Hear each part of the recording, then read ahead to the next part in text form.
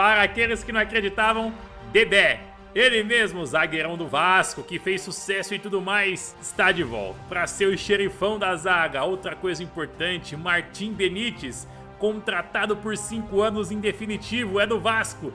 Que trabalho está fazendo o Juninho Pernambucano, hein? E ainda tem Edmundo para apresentar os patrocínios caso o Vasco chegue à Série A na próxima temporada.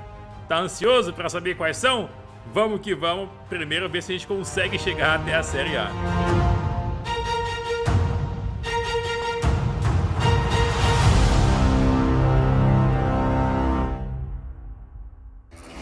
Fala aí, Gris Grasmados, eu quem fala, estamos aqui em mais um vídeo de Pro Evolution Soccer 2021 com a nossa série aqui de Master Liga com o time do Vasco, esse que eu acredito que deve ser o nono episódio, não sei, acho que é o nono, né, acho que é o nono. Vamos que vamos, tem muita coisa pra gente fazer, estamos na janela. Antes de mais nada, eu preciso falar um negócio pra vocês, cara. A gente fez uma modificação aqui no time e eu quero que vocês vejam agora. Mas peraí, peraí, peraí. Antes de mais nada, se inscreva no canal, compartilha com a galera que você conhece, fideliza naquele likezão maroto e monstro. Galera que dá aquela moral pra gente, segue lá no Insta, mano. Tá sempre na descrição. Segue lá e participa também. Muito obrigado a todos vocês que compartilham os vídeos. Vamos que vamos pro episódio de hoje. Fidelizou mesmo? Vamos lá pro episódio de hoje. Mas antes, eu queria destacar esses dois comentários. Esse aqui e mais esse aqui porque esses comentários têm ajudado bastante, cara. Muito, muito, muito a gente tomar decisões e descobrir novos jogadores, inclusive, porque, como a gente está na Série B, também precisamos contratar jogadores que estão na Série B, né? Para ser um pouquinho mais realista dentro do nosso orçamento, né? Trazer o Dedé do Cruzeiro pro Vasco foi perfeito. Comprar o Benítez, que já está emprestado, também foi perfeito. Trazer o Tiepo, que é da Chapecoense, que está ali brigando, sabe? Cai, não cai foi perfeito. Então, é, é uma coisa muito interessante que a gente tem feito, tentar deixar essa série o mais realista possível, né? Para não contratar jogadores aí, é, grandes jogadores da Série A. Mas enfim, que eu quero mostrar para vocês um negócio importante. Bom, a galera pediu muito para eu colocar o, o, Pikachu na posição que o Lucha usa ele na vida real, é, que é a posição de ponta. Ele joga de ponta, de MLD e também de lateral direito. Pois bem, de ponta ele tá pegando ali 80 de overall.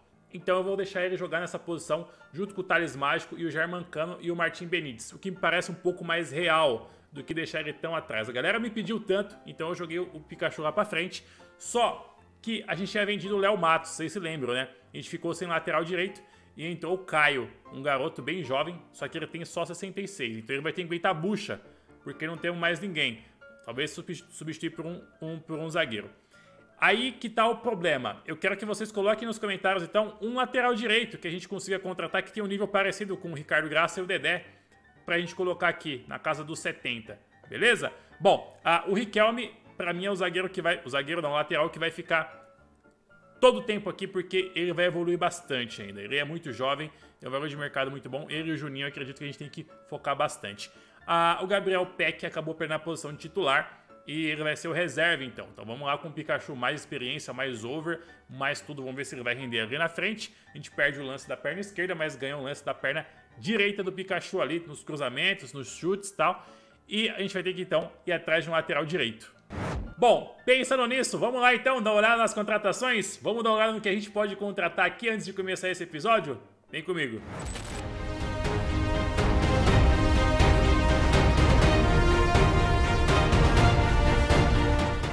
Bom, pediram bastante o Arthur, o Arthur do Red Bull Bragantino. Ele tem um valor de 9 milhões, quer dizer, tem um valor de 7 milhões de mercado, eu mandei 9. Ele tem um salário de 4 milhões, eu mandei ali o teto que a gente vai gastar, certo? Mandei por ele. Ele é um ponta direita, a galera pediu muito esse Arthur, só que aí ele vai, vai brigar ali com o Pikachu. Lembrando que o Pikachu também pode jogar de lateral, então a gente pode fazer essa mudança caso seja necessário. Aí vamos precisar decidir. Bom, o Matheus Vital tá em negociação. A galera falou que o Matheus Vital geralmente ele só joga quando ele quer e quando tá perto do fim de contrato, para jogar, para sair, para ser mais valorizado. Então não sei. Agora vamos lá falar sobre os laterais. A gente tem o Guga, cabeleira aqui estilosa. Uh, a gente tem o Gabriel Dias, que é um cara conhecido nosso do Fortaleza, que inclusive a gente usava ele até de volante, muitas vezes. Uh, inclusive ele joga essa posição. Aí tem o Kevin, do Botafogo, tem o Mailton, do Curitiba, tem o Leonardo Gomes, do Grêmio, e o Calegari, do Fluminense. Esse aqui seria interessante, 18 anos o moleque, em 18 anos ele tá basicamente parelho ali com o lateral Riquelme, da esquerda. Seria interessante do Flu, né? Tem o Heitor, do Inter, uh, e aí tem o Everton e o Wanderson, certo? Do Grêmio. Desses aqui, vocês têm que decidir um aí pra gente tentar trazer, certo? Ah, é óbvio que tem valores, por exemplo, o Calegari aqui, ele tem um valor muito barato, então para mim seria o cara que eu traria, né, pra cá pra jogar aqui, um moleque jovem, tem face, tem tudo, é, e tem uma velocidade muito boa, tem um passe, uma resistência incrível, pra mim já vinha pra ser titular, cara. Já vinha pra ser titular. Mas ainda tem outros jogadores aqui também que vocês podem escolher. O Guga não tem um valor tão alto não, ó, mas eu acho que seria um pouco irreal o Guga sair lá do Atlético Mineiro pra vir pro Vasco na Série B, né, mas o Calegari saindo do Fluminense aí, tendo 18 anos, não sei se ele é titular, pode ser que seja. Enfim, vamos tentar manter o mais próximo da realidade. Coloca aí, então lateral direito. Beleza? Vamos para os jogos então para a gente começar, depois a gente volta para as contratações.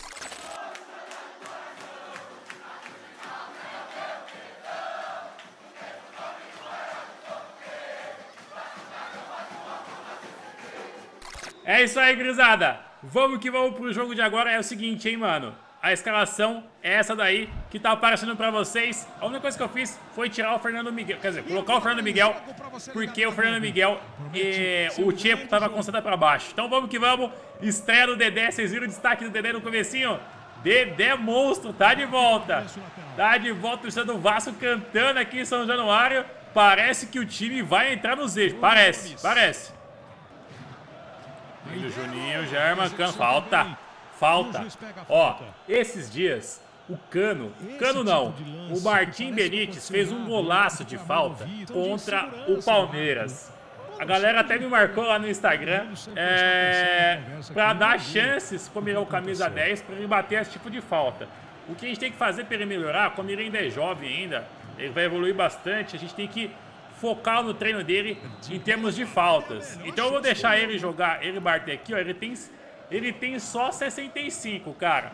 Não, não é difícil fazer com que ele aumente isso aqui. É só pôr ele pra treinar isso aqui que aumenta rapidamente a falta dele. Vamos tentar aqui pra ver se vai ser o esquema. Vamos lá, Martim Benítez. Vamos ver se tem jeito pra bater a falta mesmo. Partiu Martim Benítez. Ó, bateu...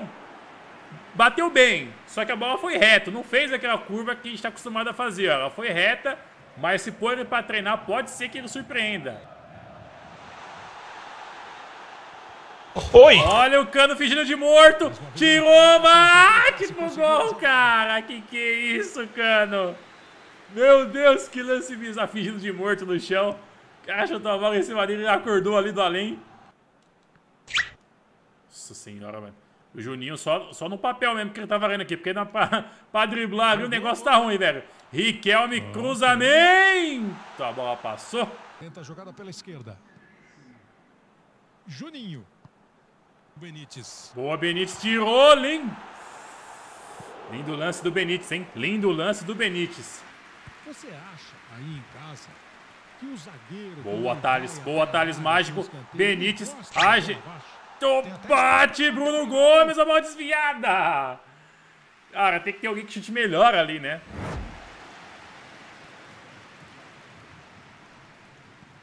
Até dá pra chutar Lá na frente, chega junto. Boa chegada. Boa chegada, hein? Ah, aparece... Ah, ah esse passe é horrível. Mas, aparentemente, parece que a zaga deu uma melhorada, hein? Não sei se foi o Dedé. É cedo pra falar ainda. É, a Ponte Preta também tá com dificuldade de atacar. Faz a bola esticada. Olha pra área. Miguel! O que, que é isso? O juiz marca É só elogiar, velho. O que que é... Ô, Fernando Miguel... Pelo amor de Deus, cara. Olha isso, velho. O cara chegou atrasado. Olha. Nossa, mano, ele tomou uma joelhada na cara. Desmaiou, morreu, velho. E faleceu. Meu Deus, Fernando. Que lambança. Ah, não acredito, velho. Meu Deus do céu, velho. Que que é isso, Fernando Miguel? Não dá, cara. Fazer um pênalti infantil desse, cara. É gol da Ponte gol Preta, da Ponte velho. Preta. Luan é o nome dele. Olha isso!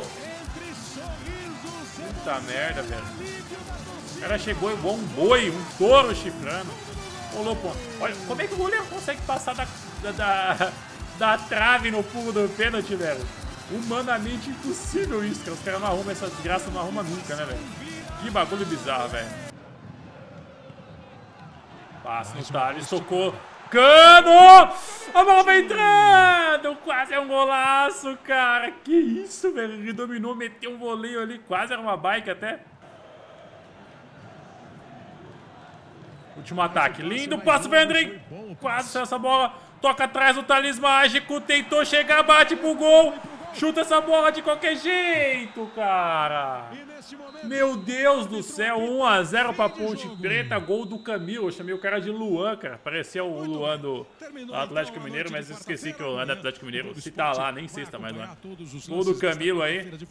Cara, jogamos muito melhor que a Ponte Preta, velho. Que pênalti bizarro, velho. Pênalti bizarro, cara. Não dá, velho. 15 rodada, uma derrota. O Cruzeiro também perdeu. Sampaio Correia venceu, vitória. E o Guarani venceu o Brasil de Pelotas. O campeonato tá desse jeito, a gente tá com 18 pontos, velho. Na 14 colocação, é Série B ano que vem. Não vai ter como, cara. Grande estreia do Dedé, olha aí a mídia falando, hein? Entendo que as instruções ao time sejam diferentes das que estou acostumado, só vou precisar me acostumar.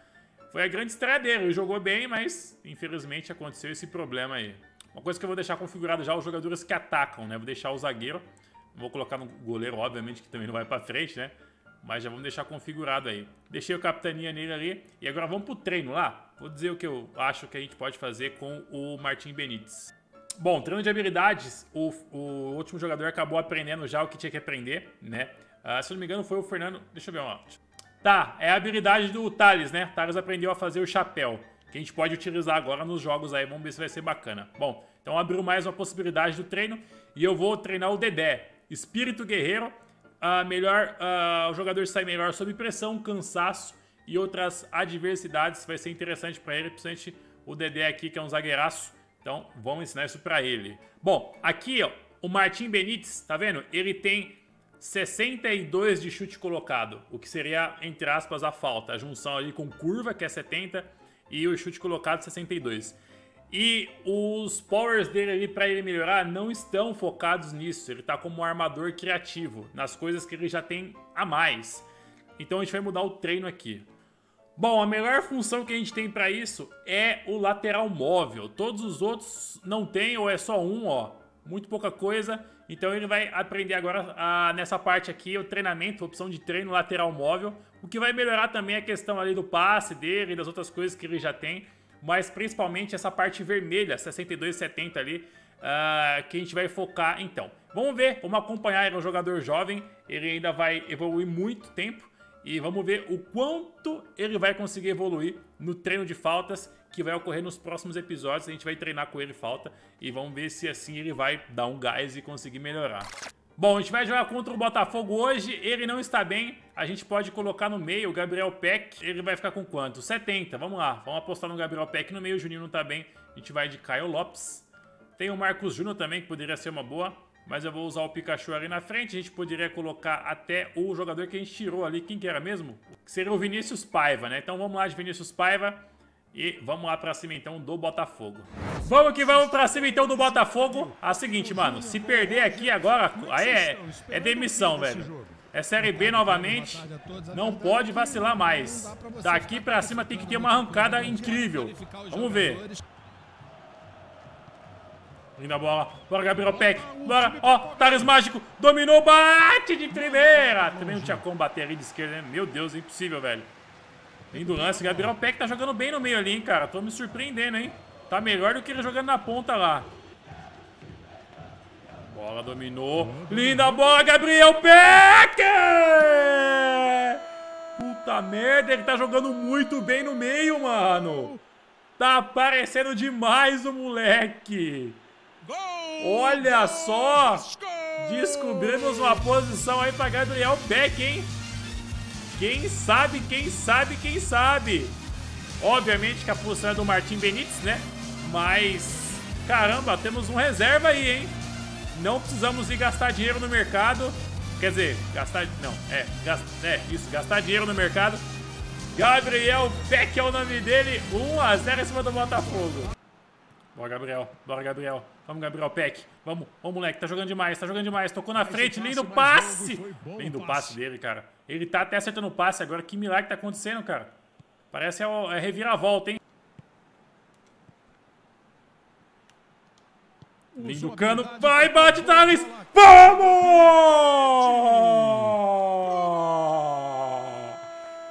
Thales Mágico aponta o luxo e fala isso aí, cara. Lindo gol de Thales Mágico. Dominou.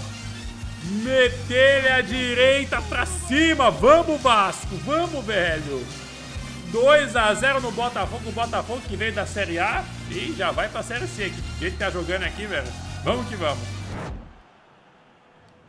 Bora, Gabriel. Bora, Gabriel. O bom dele é isso, ó. Ele tem velocidade. Cara, ele tem velocidade ali no meio. Coisa que o Martim Benítez precisa melhorar. Na verdade, ele até também tem velocidade, mas... Caramba, tô gostando muito, Gabriel. Oh, lindo lance! Na... Puta merda, cara. O time ficou muito bom. O que aconteceu, velho? Os caras resolveram jogar. Pagaram o salário dos jogadores do Vasco. Olha o Gabriel Peck, pode tocar o gol. Olha o gol, olha o gol, olha o gol. Vamos! German Cano é o nome dele. Rapaz, eu, ou eu tô iludido, ou eu tô sonhando, ou o time do Botafogo tá muito ruim, ou o Vasco acertou, cara. Lindo. Gabriel Peck, melhor da partida, velho. Melhor da partida. Jogando demais. Tocou no cano ali. Caraca, velho. Joga muito Gabriel Peck. Tô até pensando em fazer dois meio atacantes. Ele e o Benítez aí, hein. Já tô mudando a ideia aí, hein, mano. Ele e Benítez de meia. Juninho fica pro segundo tempo, hein. Vamos ver. Bora, Vinícius. Pode ser goleada, hein? Primeira goleada. Ó, lindo Thales. Ó, girou. Lindo Thales. Tocou no Gé, mandou. Ó, a bola sobrando. Tá. Caramba, o cara chegou chutando, foi tudo ali, velho. Fica na frente pra você ver, velho. 3.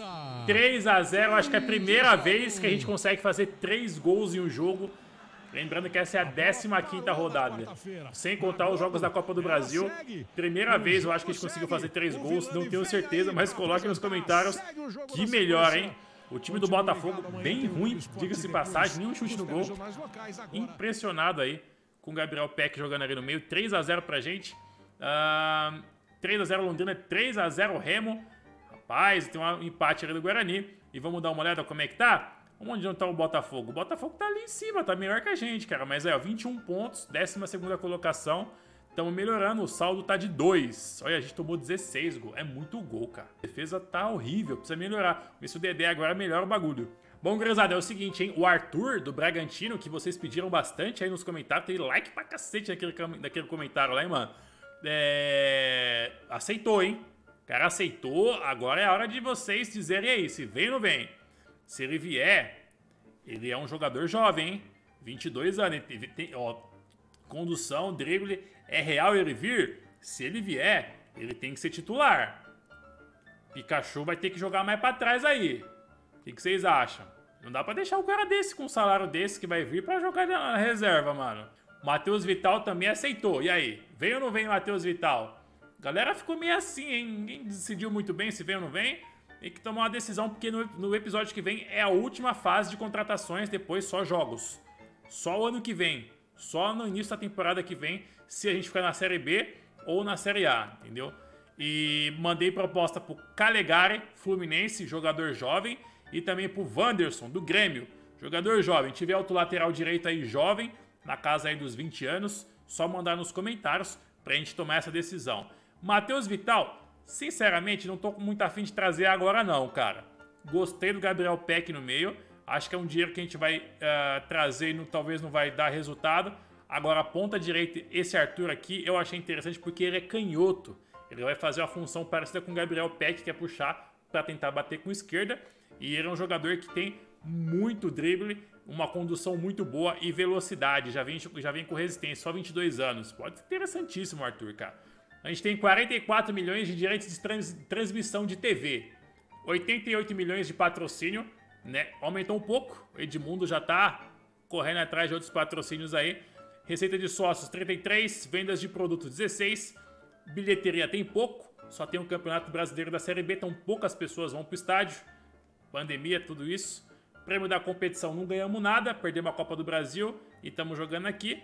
Transferências, a gente vai ter que pagar um valor a mais ainda, né? Aí que tá sobrando. E tem 60 milhas de salário. Por isso que eu não quero levar o salário lá para 5, 6 milhões esses caras, porque vai quebrar o orçamento nosso aqui, velho. Não quero passar de no máximo 70 milhões aqui, porque senão a gente não vai conseguir, cara. Na Série B não tem como ganhar salário. Você vai ver, a gente vai passar essa temporada, não vai aumentar quase nada, velho. Dificilmente a gente vai conseguir ganhar o campeonato da Série B, da Série A. Então tem que segurar o salário no máximo que a gente conseguir, senão vai quebrar o time, mano. Vai ter que mandar jogador embora. Bom, espero que vocês tenham curtido. Deixa aí os nomes. Essa é a última, a última chance, hein, cara? Porque depois só jogos e aí só na temporada que vem. Tomara que a gente consiga pra Série A. Vai ser difícil buscar, hein? Tamo aí uns 6 pontos atrás, vai ser difícil. Fideliza no like, aguardo vocês.